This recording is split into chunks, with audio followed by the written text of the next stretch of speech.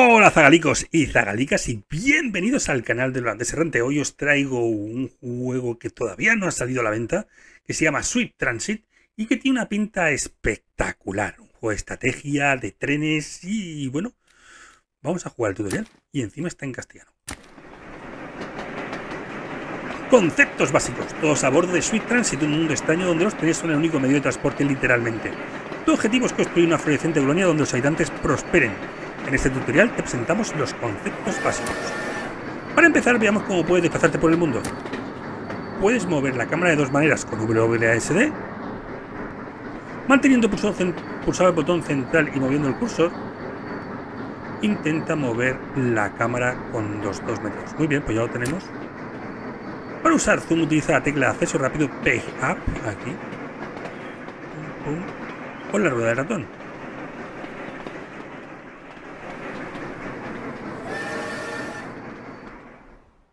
Muy bien. Hola, qué guapo, ¿no? Bueno, usa Shift o Shift más D para girar. Shift A o Shift D. Veamos la interfaz de usuario. La parte superior de la pantalla está diseñada para ayudarte a expandir tu colonia. El panel de control del tiempo muestra la fecha y la hora actuales. Si en algún momento te parece que necesitas cambiar del ritmo, puedes ajustar la velocidad del paso del tiempo. Muy bien. Usa Space para pausar o reanudar la partida. Si pausas la partida, puedes aprovechar para detener los trenes y realizar cambios en la red sin interrumpir sus itinerarios. Ah, muy bien. La barra de información muestra el estado de todos tus recursos, trenes y edificios importantes, que es esto de aquí. La barra pulsa cada sección para ver información más detallada. Muy bien, ciudades, fábricas, la lista de desbloqueo muestra las tareas actuales que desbloquean los elementos nuevos. Las aldeas y las ciudades tienen sus propias tareas que aparecen cuando las seleccionas. Si alguna vez te despistas, usa esta lista como guía para progresar.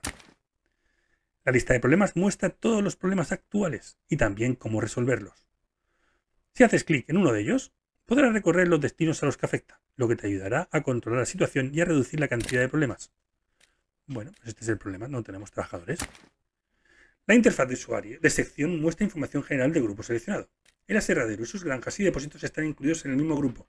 Como la información está agrupada, no tienes que ir buscándolos uno a uno. Selecciona el depósito de madera. El depósito de madera, tío, ¿dónde está? ¿Será esto? Depósito de madera. Muy bien. El cuadro contextual muestra información específica de la estructura seleccionada. Este depósito puede almacenar más madera para el asegadero. Vale. Conceptos básicos. Y ahora pasamos a la última parte, lo más importante de la interfaz de usuario, las herramientas de construcción. Conceptos básicos. El menú Construir te ofrece todo lo necesario para expandir tu colonia. Es esto de aquí. Puedes hacer clic en los botones resaltados o usar la tecla Acceso rápido B para construir lo que has seleccionado. El menú expansión estará disponible cuando selecciones un edificio o una aldea que se puede expandir. Selecciona cualquier parte de tu aldea para abrir su menú expansión correspondiente. Bueno, selecciona las residencias de jornaleros en el menú construir y construye cuatro en tu aldea. 4. 1, 2, 3 y 4. Puedes hacer clic o arrastrar para crear varias residencias a vez. Bueno, ya lo hemos construido. Todos los edificios de una aldea necesitan estar conectados por carreteras, pues esto permitirá a los trabajadores viajar de una residencia a otra, el trabajo o a los diversos edificios de servicio de la aldea. Si no tiene carreteras que lo conecte y nadie accede a ellos, un edificio no pasa de ser eso. Conectamos las residencias aquí con camino. Vale, pues aquí tenemos aquí. A ver. ¡Pum! Y ya está. Enhorabuena, la aldea está en funcionamiento y los habitantes pueden moverse libremente por ella. Hablando de moverse, es hora de aprender cosas sobre trenes. El único medio de transporte de Sweet Transit. Seleccionamos el tren. Los trenes se pueden personalizar para que resulte más fácil tenerlos controlados o para dar rienda suelta a tu espíritu creativo. Intenta cambiar el nombre y el color de este tren con las acciones saltadas en la interfaz. Nombre del tren. Vamos a ver. Tren Pepito. Ahí está. Cambia el color del tren el color del tren se cambia aquí. Y le vamos a poner un color así azulito. Muy bien. Bueno, por desgracia este tren está inactivo porque no se le ha asignado un itinerario que seguir. Para ponerlo en movimiento selecciona el itinerario Good 2 en la lista desplegable. Ahí está. Pulsa F o doble clic en el vagón para seguirlo. Sigue el tren. Como ya comprendemos un poco cómo funcionan los trenes, vamos a aprender y crear y controlar sus itinerarios. Usa Control R o haz clic en el botón de menú itinerarios resaltado para abrir el menú itinerarios. Pues hemos dicho Control R. En el menú puedes crear y modificar itinerarios. En este paso vamos a crear un itinerario para transferir a los trabajadores de todo el día al aserradero y vuelta. Para crear el nuevo itinerario, haz clic en el botón Añadir itinerario. Muy bien a medida que tu colonia se vaya expandiendo, tendrás muchos itinerarios que gestionar, lo que puede ser bastante abrumador. Ponerle nombres reconocibles, por ejemplo, trabajador de madera, te ayudará a encontrarlos en el futuro. Cambia el nombre. Pues venga, trabajador en madera.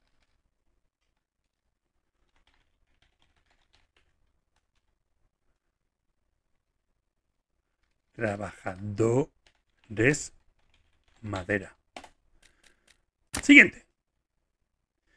Bueno, cada itinerario consta una secuencia de estaciones que visitan los trenes. En este caso queremos usar Colonia 1 y Bus 2. Añade Colonia 1. Añade Bus 2. Siguiente. Bueno, además de saber dónde van, los trenes también necesitan instrucciones para saber qué deben hacer cuando lleguen. Para ello los destinos emplean acciones. Esto es muy Transport Pues aquí cargar, aquí eh, Colonia 1 intercambiar trabajadores y aquí intercambiar. Vale. A ver, nuestro tren ha empezado de maravilla, sabe dónde va y lo que tiene que hacer. El último paso es añadir una condición de espera para indicar al tren cuánto debe, cuánto debe durar la parada. Clic añadir condición de espera y elige tiempo transcurrido para cada uno de los destinos. Vale. Tiempo transcurrido y tiempo transcurrido. Siguiente. ¿Qué más? Por último, asigna tu itinerario recién creado, trabajo de madera, al tren llamado tren de pasajeros. Vale, asigna itinerario. A ver, ¿cómo, hago eso?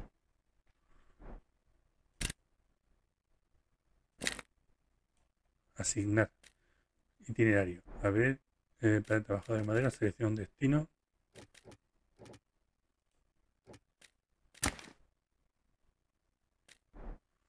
Usa, ¿qué? Control mayúsculas más botón derecho. ¿No?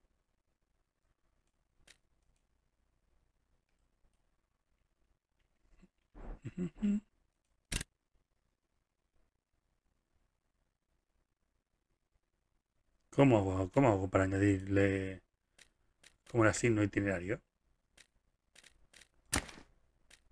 Ahí está, vale. Siguiente, enhorabuena, has aprendido los conceptos básicos y dado tus primeros pasos en el mundo de Sweet Transit.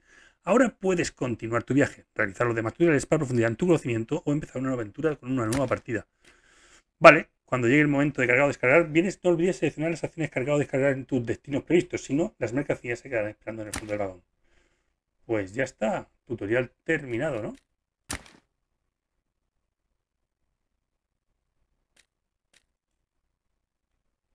Pues vamos a salir y vamos a hacer el siguiente tutorial. Construcción de aldeas. En este tutorial aprenderás a construir y expandir las aldeas. Las aldeas son el corazón de tu colonia y si las abasteces bien será el hogar de los trabajadores que atienden las industrias. Construcción de aldeas. Para construir una aldea debemos empezar con un almacén. Los almacenes sirven para guardar los bienes que necesitarás para la construcción y el mantenimiento. Recuerda que la ubicación del almacén es importante. Es posible que tu colonia siga creciendo y que lleguen bienes de todas partes, así que asegúrate de que el almacén tiene mucho espacio para situar estaciones y vías en todas direcciones. Construir un almacén. Ahí está. Ahora que tenemos un almacén, vamos a construir nuestra primera aldea. Empezaremos por la casa del consejo. ¿Dónde? Aquí, abajo, tan abajo, tío.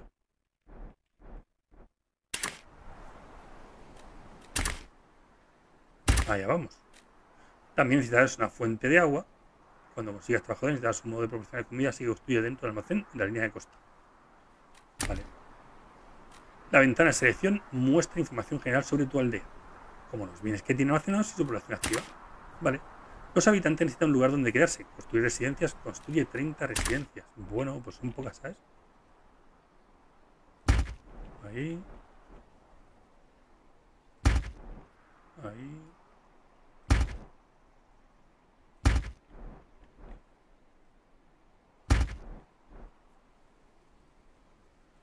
Bien. Vale, pasar ratón por encima del icono del problema para conocer más detalles. Todos los edificios de una aldea necesitan estar conectados por carreteras. Pues vamos allá.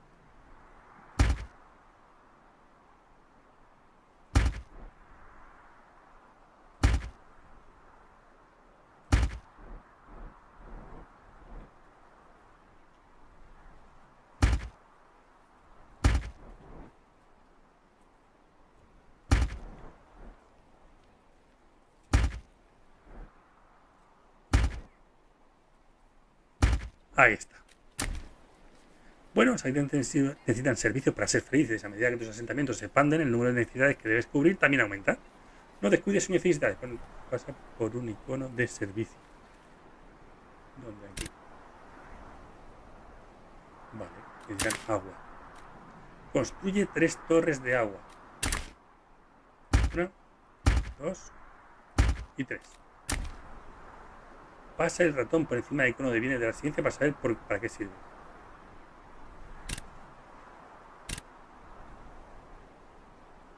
Por el icono. Vale, ya está. Y ahora construye un muelle pesquero en la orilla cerca de tu aldea. Un muelle pesquero. Vale, aquí. Muy bien. Conecta el muelle pesquero a la casa del concejo con una carretera. Vale.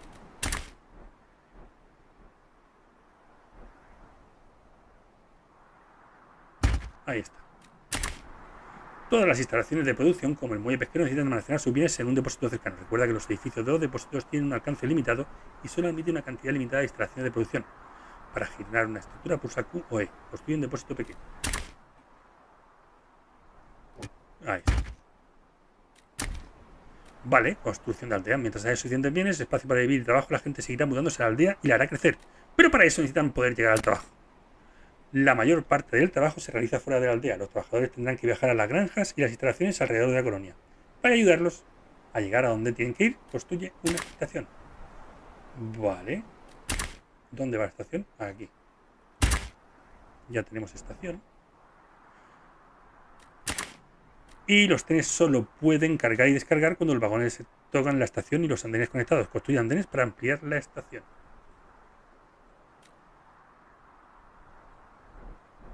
Vale, mira aquí.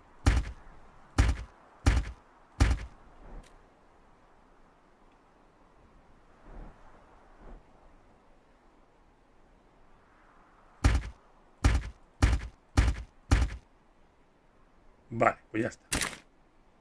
Ahora, algunos edificios pueden reducir el nivel atractivo de tu aldea, como los muelles pesqueros. Si tu aldea no resulta nada atractiva, afectará la felicidad de los habitantes y los turistas de otros asentamientos no querrán ir a visitarla. Está claro que nadie le gustaría ir a una aldea fea. Crea adornos. Vale. ¿Dónde van los adornos? No me dice dónde ponerlos.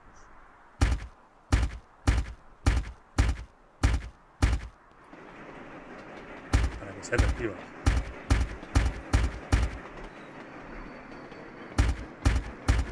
Vale, ya está. Ya es atractiva.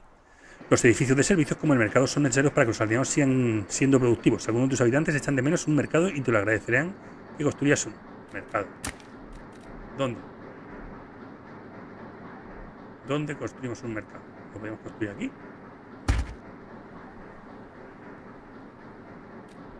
Cerca de las residencias que lo necesitan. ¿Qué residencias lo necesitan?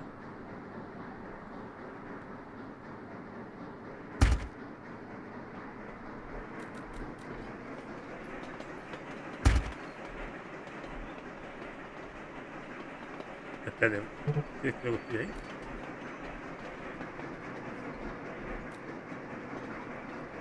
Puede ser que sea eso. Ahí está. Bueno, aumenta la población de la aldea hasta 400 habitantes. Llegó el momento de aplicar tu conocimiento recién adquirido sobre aldeas. Expande tu aldea hasta que tenga 400 habitantes total. Sigue construyendo, aumentando la población y crea la aldea de tus sueños. Bueno, pues la verdad es que el juego está chulo. Está muy chulo. Vamos a cerrar esto. Está muy chulo. Los trenes se ponen solos, la verdad. Y bueno, pues la verdad es que habrá que seguirlo de cerca. Sobre todo para el tema del precio y para ver si merece la pena al final meterlo, no meterlo y comprarlo y darle vida. A mí me está gustando, a nivel gráfico me parece muy chulo y a nivel de gestión también. Habrá que darle una vuelta de tuerca y probar lo que es el juego completo, aunque todavía está en desarrollo. Pero bueno, eh, tiene buena pinta, ¿eh? Tiene buena pinta. Habrá que darle una oportunidad. Y bueno, gente, lo voy a dejar por aquí. Espero que os haya gustado el vídeo. Dejarme un buen like, dejarme comentarios. Y nos vemos aquí en el canal de Holandés Errante en próximos vídeos. Y si no estás suscrito al canal, suscríbete y ayúdame a seguir creciendo. Un abrazo muy grande y hasta luego. Bye bye.